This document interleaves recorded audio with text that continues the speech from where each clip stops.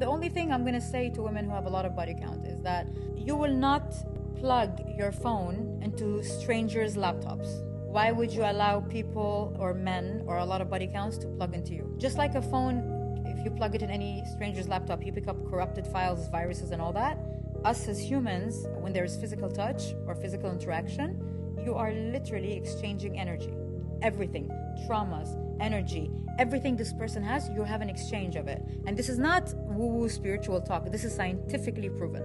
So, why would I do that? His all his issues, all his traumas, why am I picking bits and pieces and crumbs of them? We we already, all of us are already damaged. We all need healing. I go add tap up to that. So my advice is the, the more you stop with the body count, the more you start to love yourself, the more you start to understand yourself, the more you start to look at these things differently, the more you understand that this is the way to preserve your energy and your your your spirit.